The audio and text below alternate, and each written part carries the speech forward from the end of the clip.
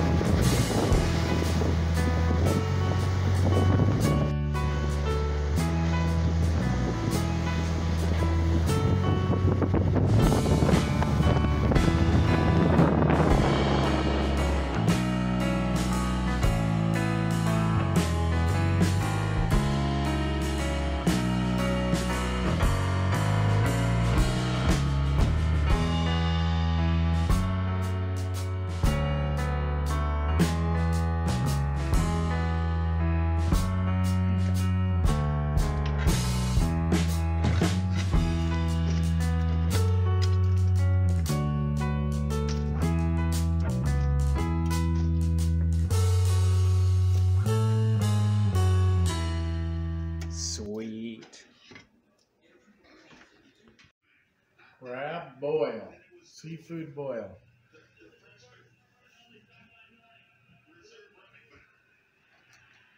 With foot to the bar. Okay, so here's my Got the broth, got the, and the prawns. Look at that. Look at this. Look at that right in there. That little guy.